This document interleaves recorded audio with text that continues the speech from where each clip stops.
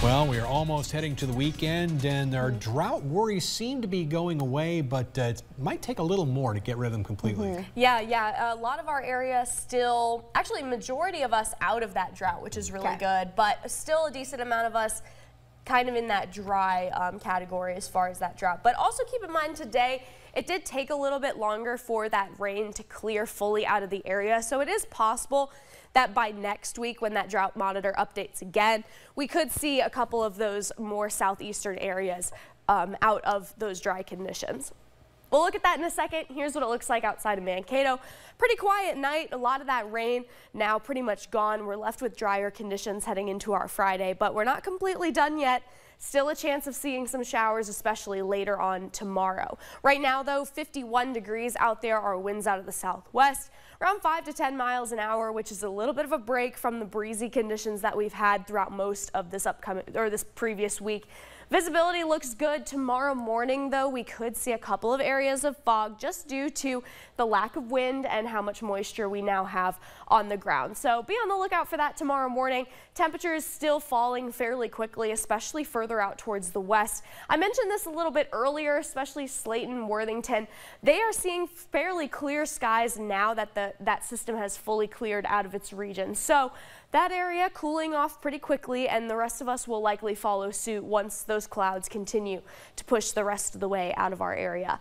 And as we go into tomorrow, we are expecting temperatures to warm up a little bit. We'll be back in the 70s for the most part tomorrow.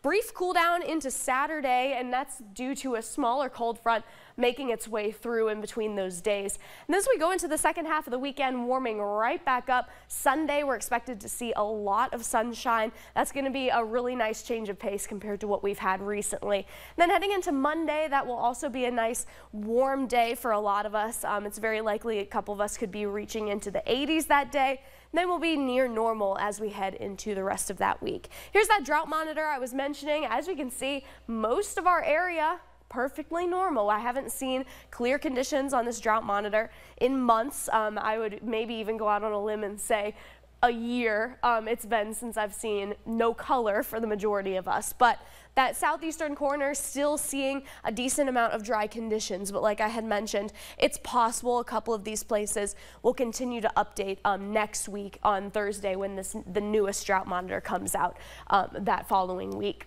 Radar and satellite now again still showing some of that rain moving through um, our neighboring states and also further up towards the north. But here at home in southern Minnesota, northern Iowa, not really seeing a whole lot out there. A couple of showers still lingering over the last few hours, but now we're finally starting to see those drier conditions. Friday, we're expecting some really nice conditions later in the evening and overnight into Saturday. We'll likely see some more showers making their way through.